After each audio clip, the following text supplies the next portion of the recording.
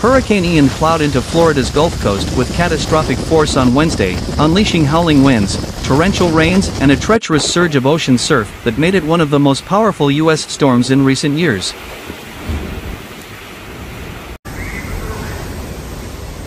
Crashing ashore as a category four hurricane with sustained winds of up to 241 kilometers per hour, Ian quickly transformed an idyllic stretch of sandy beaches and coastal towns into a disaster zone inundated by seawater. Early video images of the storm's fury on local TV and social media showed floodwaters sweeping away cars, nearly reaching rooftops in some communities and the ruins of homes as palm trees were bent almost in half.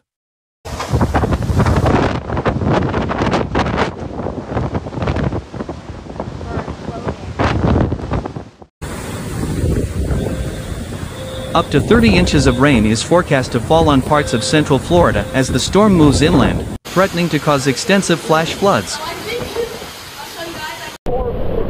Really? Nearly 2 million homes and businesses statewide were without power as of an hour before sunset, utilities reported. There's like three boats. The region around the landfall is home to miles of sandy beaches, scores of resort hotels and numerous mobile home parks, a favorite with retirees and vacationers alike.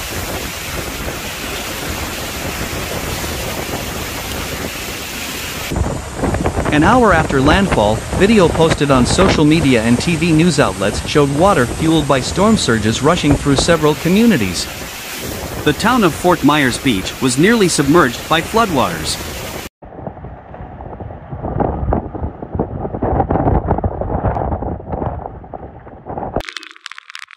A view of Sanibel Island posted on Twitter showed the ocean sweeping over a seawall into a resort hotel swimming pool. Other video from the island showed roads inundated by the storm surge, rising to the tops of street signs.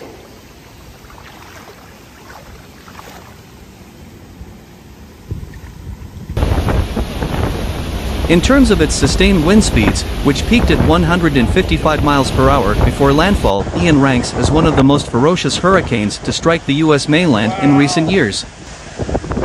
This is crazy. By comparison, Hurricane Michael came ashore in Florida's Panhandle in 2018 with steady winds of 155 miles per hour, while Ida last year packed sustained winds of 150 miles per hour when it landed in Louisiana.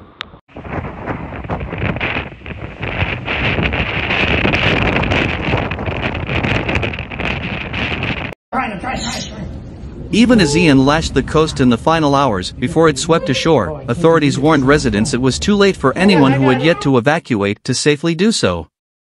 Earlier this week, more than 2.5 million residents had been told to evacuate. Hey guys, um, this is the current condition in my house.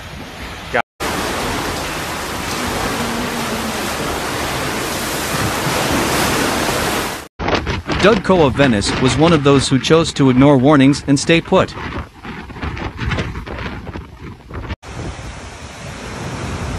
Most residents abandoned the area's mobile home parks, taking refuge in local schools and other facilities converted to emergency shelters. The area's numerous assisted living facilities were mostly evacuated, too.